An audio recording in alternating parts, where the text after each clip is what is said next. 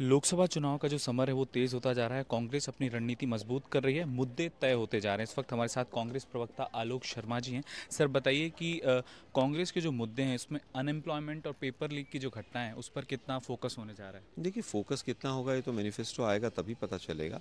लेकिन इतना ज़रूर है कि दो करोड़ रोज़गार देने का वायदा करने वाले लोगों ने आज जिस तरह से पूरे देश को बेरोजगार कर दिया है जिस तरह से हर तीसरा व्यक्ति आज बेरोजगार नज़र आ रहा है 40 से 45 साल की जो हाईएस्ट बेरोजगारी दर है इन तमाम चीज़ों को देखते हुए क्योंकि युवा जो है वो इस देश की ताकत है ज़रूर हमारे सीनियर लीडर्स बेरोजगारी को महत्वपूर्ण स्थान देंगे। उत्तर प्रदेश में पेपर लीक का बड़ा मुद्दा बना हज़ारों लाखों युवा हैं जो इससे परेशान हैं इनके लिए क्या समाधान कांग्रेस पार्टी सोच सकती है? देखिए पेपर लीक का एक मुद्दा बहुत बड़ा मुद्दा है जब से मोदी जी की सरकार आई है ये गुजरात में पेपर लीक होते थे अब हर जगह हो रहे हैं।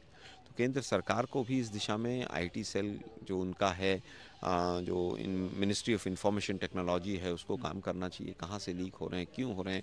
कहीं ऑनलाइन तो नहीं हो रहे हैं। लेकिन इनकी कहीं पर कोई नीयत साफ़ नहीं है। ये रोज़गार देना ही नहीं चाहते हैं।